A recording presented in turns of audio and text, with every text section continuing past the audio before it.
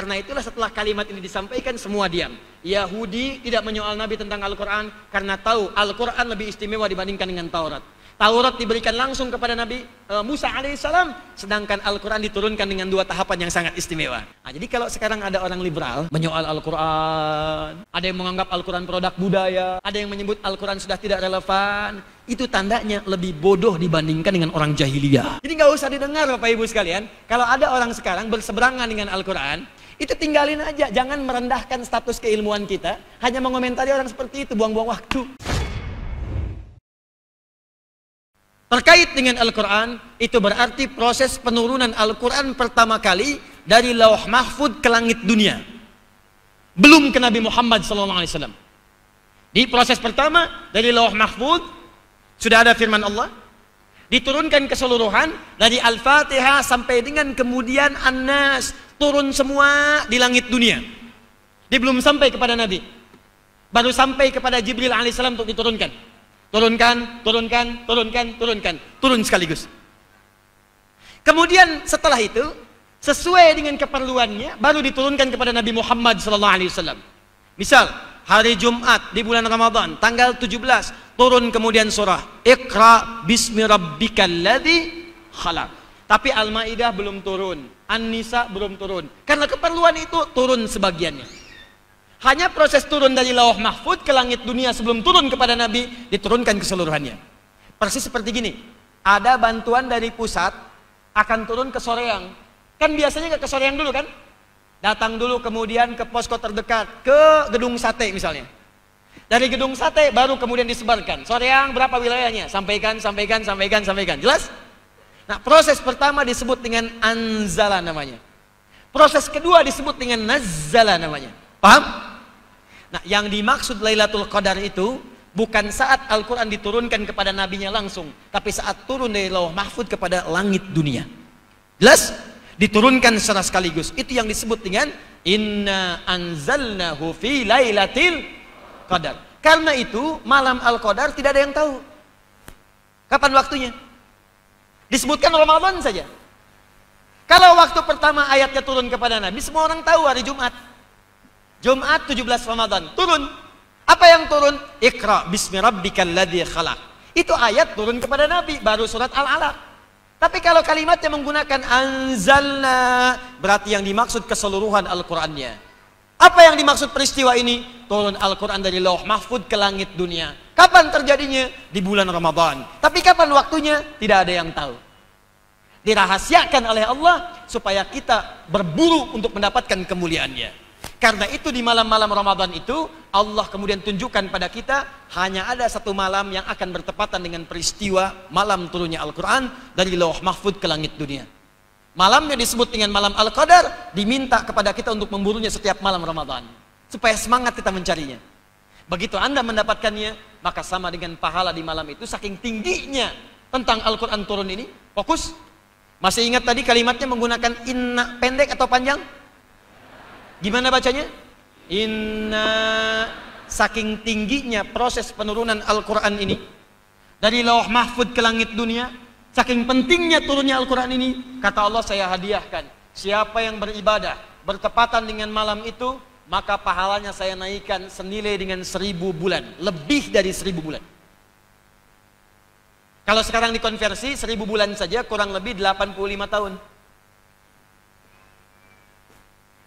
Jadi kalau anda bertepatan sholat tahajud di malam itu, baru satu rakaat, Allahu Akbar, Bismillahirrahmanirrahim, meninggal, blok, bisa. Itu sama dengan sholat tahajud 85 tahun tanpa henti. Malam Al-Qadar. Anda baca Al-Quran di malam itu, bangun, masuk malam itu, baru buka mushaf, baru dibaca, baru surup lagi. Begitu dibuka, nun, plek, meninggal. Uh, itu orang paling beruntung di muka bumi. Sama dengan baca Al-Quran 85 tahun tanpa henti. Siapa yang bicara 85 tahun tanpa berhenti? Nun, nun, nun, nun. Ayo, bisa? 85 tahun. Satu hurufnya 10 pahala. Ramadannya 100. Malam Al-Qadar. Allahu Akbar. Inna anzalnahu fi Wa ma adraka ma Lailatul Qadri khairum min ah, kalimat di situ menggunakan anzala sama persis dengan yang ini. Artinya apa?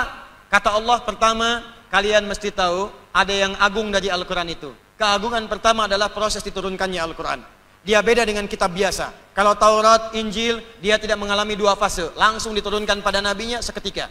Al-Quran saking agungnya, aku turunkan dari loh mahfud ke langit dunia. Saat ke langit dunia itu, siapa yang bisa mengerjakan amal ibadah bersamaan dengan waktunya, maka aku akan berikan pahala lebih daripada seribu bulan. Jelas? Jadi proses yang pertama, Al-Quran dimuliakan oleh Allah dengan proses penurunannya kepada Nabi Muhammad SAW.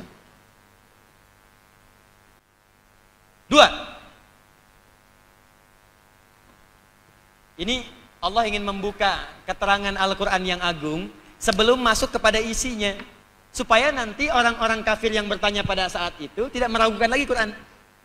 Ya tidak meragukan Quran lagi, tidak menyoal Quran lagi, dan mereka tidak akan punya kesempatan bertanya, emang Quran ini siapa? Dari mana asal Quran ini? Kamu mau cerita tentang Yusuf? Kamu ingin cerita tentang Yakub? Kamu ingin cerita tentang pahala dan dosa? Emang apa Quran ini? Jadi nggak akan pernah tersisa dari lisan mereka untuk menuduh Al-Quran ketika kemuliaan Al-Quran diangkat pertama kali. Jelas? Sama dengan begini, Bapak Ibu sekalian. Maaf ya. Kalau ada pakar hukum yang paling pakar di bidang hukum, kemudian menulis buku tentang aturan hukum. Kira-kira yang orang awam akan mendebat buku itu tidak? Tidak kan? Terus ada orang yang belum tahu siapa sih penulis buku ini? Apa keistimewaannya? Lalu diterangkan dulu kemudian latar belakang buku itu sebelum kemudian dibacakan isinya. Buku ini ditulis oleh orang ahli hukum, pakar di bidangnya. Ya, dia yang paling unggul, tidak ada yang bisa mendebatnya. Isinya bagus, sempurna tulisannya. Ditulis dalam jangka waktu 10 tahun. Begini, begini, begini, begini, begini. Kira-kira kalau sudah mendengar isi kualitasnya, walaupun belum mengerti isinya, belum baca bukunya, apakah kita akan takjub kepadanya? Kagum dan takjub.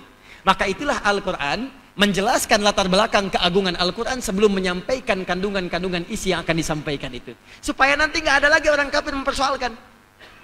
Apa ini Al-Quran? Gak penting nih. Ini produk kamu aja Muhammad. Ini begini Muhammad. Allahu Akbar. Karena itulah setelah kalimat ini disampaikan semua diam. Yahudi tidak menyoal Nabi tentang Al-Quran karena tahu Al-Quran lebih istimewa dibandingkan dengan Taurat. Taurat diberikan langsung kepada Nabi uh, Musa alaihissalam, sedangkan Al-Quran diturunkan dengan dua tahapan yang sangat istimewa. Nggak ada orang baca Taurat setiap hurufnya 10 pahala, Al-Quran dibaca 10 pahala.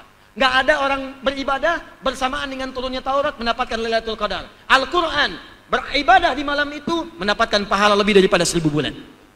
Karena itulah orang Yahudi tidak bisa mendebat Al-Quran, orang Nasrani tidak bisa menyoal Al-Quran. Kalau mereka sudah paham dengan keistimewaan Al-Quran, mereka akan siap mendengarkan isi Al-Quran yang akan disampaikan. Jelas? Nah, jadi kalau sekarang ada orang liberal menyoal Al-Quran, ada yang menganggap Al-Quran produk budaya, ada yang menyebut Al-Quran sudah tidak relevan, itu tandanya lebih bodoh dibandingkan dengan orang jahiliyah. Sebab orang jahiliyah pun sebodoh-bodohnya mengakui Quran itu agung. Coba lihat, pernah nggak mendengar Abu Jahal misalnya bertanya pada Nabi tentang makna alif lam ro? Ya Muhammad, apa itu alif lam ro? Nggak ada. Karena saking tahunya dengan makna alif lam ro, karena dia itu pakar bahasa Arab, ngerti dan agung. Abu Jahal, Abu Lahab, Abu-Abu yang lain yang jelek-jelek pada masa itu, itu ketika menyoal Al-Quran itu bukan ingin mendebat Quran, karena tak sanggup melawan Quran, akhirnya maaf, mencarilah perbuatan kotor untuk bisa melakukan pembenaran. Karena takut tersaingi saja. Jadi kalau ada abu-abu yang sekarang, yang nggak jelas latar belakangnya, bahasa Arab nggak bisa, Quran nggak hafal, hadis nggak ngerti, tiba-tiba berkomentar tentang Quran, itu aneh. Paham ya? Pasti ada yang salah. Jadi nggak usah didengar Bapak Ibu sekalian. Kalau ada orang sekarang berseberangan dengan Al-Quran, itu tinggalin aja. Jangan merendahkan status keilmuan kita. Hanya mengomentari orang seperti itu, buang-buang waktu.